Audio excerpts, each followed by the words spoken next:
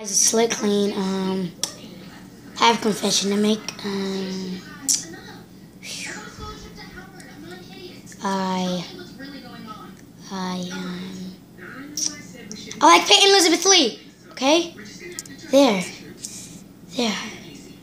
Well, I thought I could get it off my chest. Um, uh, I'm done.